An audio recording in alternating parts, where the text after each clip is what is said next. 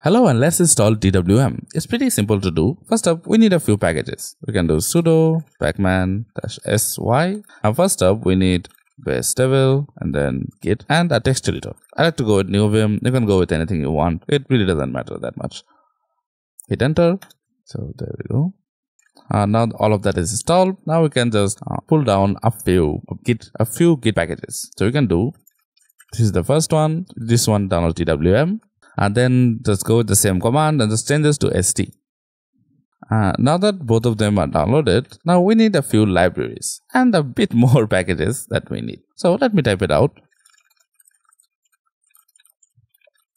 Uh, here's all the packages that we need. Make sure to type them, type them properly and let's just install it. There you go. This will install everything and i'll see you after this is installed Okay, now that is installed. So we can move on to the next step. Okay, now uh, to install any of this, so if I do ls, you can see the DWM and st. We just have to go to the folder, cd st. There we go. Hit ls, and there is a bunch of files in here. We can install it simply by doing sudo make clean install. Hit enter, and there we go. It is installed. Now in here, uh, do make sure to take note of uh, this line right here basically where it says uh, slash user local slash bin st this will be important. So we can just clean clear it out. And then we can move to dwm dot dot slash dwm and then again if you see here you can see there is a lot of files in here. We can do sudo make clean install. Basically the same command hit enter and there you go. It is installed. Now there is a bit more we have to do in here. So if i do ls you can see there's a file called config. Now we want to edit this. And to edit it we can do nvim again the text editor of your choice. And then just go with config.h and then hit enter. And there's a lot in here. But if we just scroll down we can search for sh.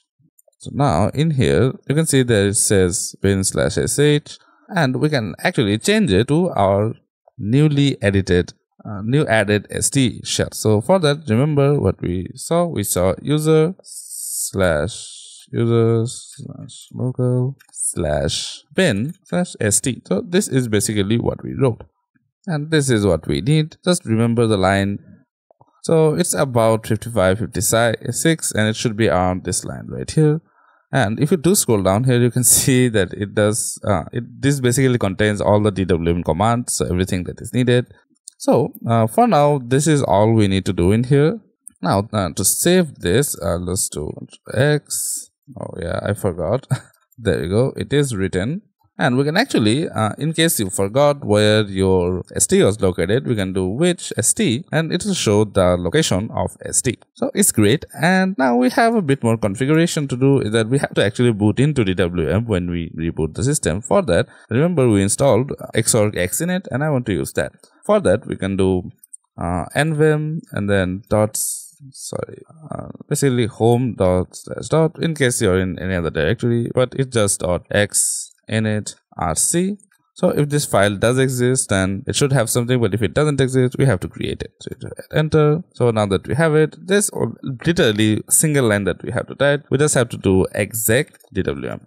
And that's about it. Do x is written clear it out.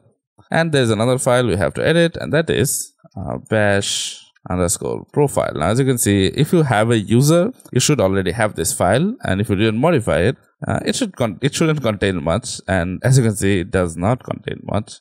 So we can go in here and just put again a single line start x. So there you go. Just save and exit. That's about it. Like actually that's about it. We can now do a quick reboot.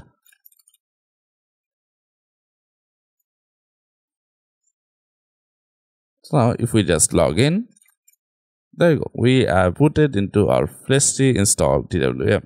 Now in here, so now we have a window. So if we do Alt Shift Space, there you go. We have a terminal and we can just move it around. We can actually resize it if we just press Alt and right and to get this terminal up we just have to do alt shift plus alt is basically the mod key for dwm if you have used something like Hyprland and something uh, same way that uses windows key this basically uses alt key for its configuration Now to uh, modify this DWM, we can just get into DWM. So we can do cd DWM and like before, we can do nvim and then dot slash config dot h, hit enter and there you go. Now we have this. In here uh, you see this file like names right here. These are basically how many windows are there. Sorry workspaces. So if we remove some of them let's say we give four uh, this should only give four of them. And then so as you see there is dmenu so if you want to change stuff like other than dmenu if you want to use something else it can be done. Now uh, i would like this like fonts to be a bit bigger. So in here it says size 10 uh, i would like to have it at maybe 16 uh, we can have this as 16 as well. Why not? But we are not using dmenus so yeah. Anyway so this is the file basically that you need to configure dwm and again you can uh, consult uh, you can consult Suckless's guide on how to configure this and whatnot. But for this guide that should be it. We can actually save it. And to uh, kind of apply or change it, we have to remake it. Now, this kind of gets old, uh, but if you can get it to where you want to, it can be a pretty nice system. So we have to install it again. And again, if you don't get any errors, it should be fine. Now, at this point, there are two ways we can go. We can log out or just reboot the system to apply the changes. And I'll just reboot the system. Why not?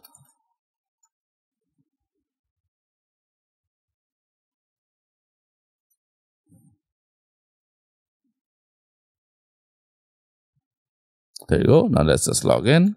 And as you can see, everything is a bit larger. So if you found this video helpful, then leave a like on the video and subscribe to the channel. I do do pretty much a lot of things on this channel. So there are videos where I install a lot of desktop environment on my system. I tried uh, Windows 1, like the first ever Windows that was ever created. So there's a lot we do on this channel. So make sure to subscribe and also leave a comment on what display manager or window manager do you use or if you use DWM then what type of config or which config do you enjoy the most? Or did you make your own? Make sure to let me know. And I'll see you guys in the next one. Bye